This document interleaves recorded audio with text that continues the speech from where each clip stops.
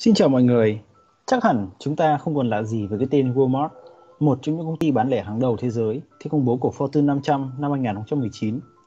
Tuy nhiên, Walmart đã gặp không ít khó khăn khi mở rộng thị trường của mình tới khu vực châu Á và cái tên cụ thể mà mình nhắc tới ở đây đó là xứ sở kim chi Hàn Quốc. Sau đây chúng ta sẽ cùng nhau tìm hiểu câu chuyện của Walmart tại Hàn Quốc. Ông lớn hay chỉ là tay mơ? Mình là Cá và không để các bạn đợi lâu hơn nữa, chúng ta hãy cùng bắt đầu nào. Trước tiên, câu chuyện bắt đầu từ năm 1998 khi Walmart lần đầu tiên xuất hiện ở Hàn Quốc. Điều này làm dấy lên làn sóng lo ngại trong các nhà phân phối hàng hóa nội địa. Họ cho rằng với kinh nghiệm quản lý của một tập đoàn đa quốc gia và cô vốn lớn, chẳng mấy chốc đại gia này sẽ thôn tính và thao túng thị trường bán lẻ Hàn Quốc như đã từng làm ở nhiều quốc gia khác trên thế giới. Ở đây, mình xin phép nói một chút về sự thành công của Walmart ở Mỹ. Đó là hãng đã áp dụng một thứ gọi là cấu trúc mô hình kinh doanh Canvas được phát triển bởi nhà nghiên cứu Alexander Osterwalder. Nhờ áp dụng mô hình này, Walmart đã xác định chiến lược của mình là giá rẻ mỗi ngày, không những bán hàng tiện nghi với nhiều chủng loại mà còn là nơi dừng chân mua sắm một lần. Walmart là nơi khách hàng có thể mua từ cây kim, sợi chỉ đến hàng công nghiệp. Vì thế khách hàng sẽ tiết kiệm được thời gian và tiền bạc.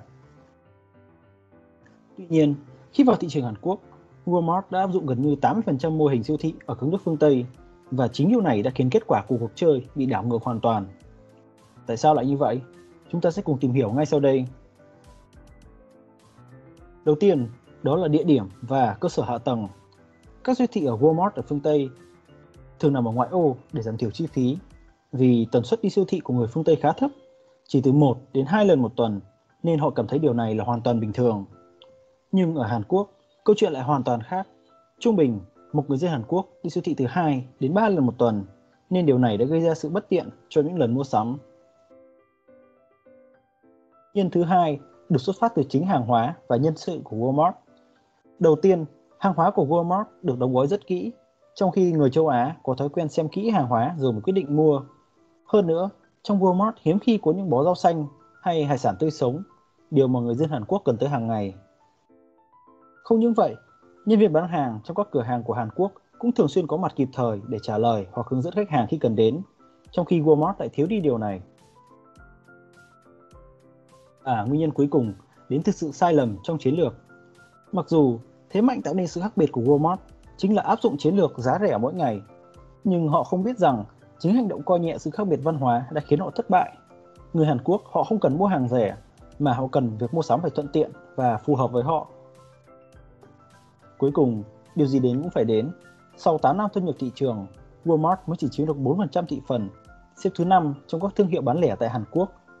Và tính riêng năm 2005, doanh thu của Walmart tại Hàn Quốc chỉ đạt khoảng 800 triệu đô la, bị thua lỗ đến hơn 10 triệu đô la. Và vào ngày 22 tháng 5 năm 2006, tập đoàn bán lẻ hàng đầu thế giới Walmart đã phải tuyên bố rút lui khỏi thị trường này bằng cách bán hết các cơ sở của mình cho tập đoàn bán lẻ nội địa Hàn Quốc với trị giá gần 900 triệu đô la Mỹ. Cuối cùng, một ông lớn cũng phải chịu thất bại tại khu vực. Đây cũng là một bài học nhớ đời dành cho Walmart khi đã coi nhẹ sự khác biệt văn hóa và thị trường của mỗi quốc gia. Qua câu chuyện trên, chắc hẳn các bạn đã hiểu tại sao ông lớn Walmart lại thất bại thê thảm ở Hàn Quốc đến vậy. Nếu thấy video hay, hãy like và chia sẻ. Nếu có ý kiến đóng góp, xin hãy để lại ở dưới phần bình luận. Xin cảm ơn và chào tạm biệt mọi người.